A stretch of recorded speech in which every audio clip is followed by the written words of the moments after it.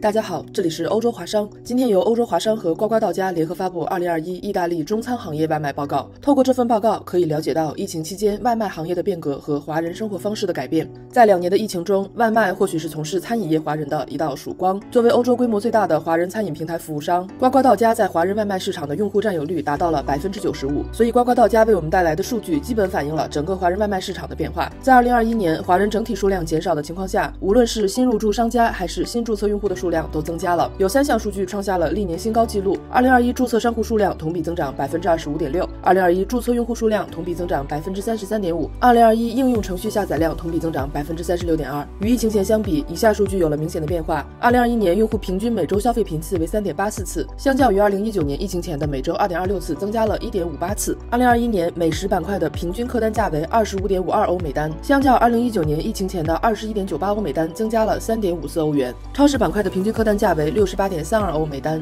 相较疫情前的五十六点八四欧每单，增加了十一点四八欧元。甜饮板块的平均客单价十九点八三欧每单，相较疫情前的十六点六四欧每单，增加了三点一九欧元。餐饮板块平均客单价的提高，更多的是直观反映出了意大利多种因素影响下物价上涨的趋势，而超市板块的客单价提高，则反映了华人客户对超市配送的需求量的增加。二零二一年单个用户全年消费总金额最高达到两万六千九百二十一欧元，折合人民币二十万一千九百元。平均每天消费约七十四欧元，而所有用户的平均年消费金额为九百三十八欧元。以美食板块和超市板块的平均客单价来折算，大约等于每位用户每月消费一次外卖和一次超市配送服务。单一订单客单价最高达到四百八十四点五欧元，单月餐厅订单量最高突破一千一百单，单日最高订单记录为一百零四单，单月外卖销售额突破五万欧元，而单月超市销售额突破了十五万欧元。美食板块点单最多的菜品是口水鸡、鱼香肉丝、凉皮和锅包肉；奶茶店点单最多的菜品是原味珍珠奶茶、章鱼小丸子、炸鸡和烤肠。超市板块点单最多的商品是大白菜、双汇火腿肠、金针菇和肥牛。在配送员相关数据方面，配送员的每月薪资突破三千五百欧元，每月配送订单突破七百单，平均配送距离是三点八三千米。米兰地区新增商户主要分布在华人街、运河和 Loledo 区域，注册用户主要分布在华人街、Loledo 和 Machachini 区域。平台历年来总订单量截止二零二二年一月已达六百九十四万单。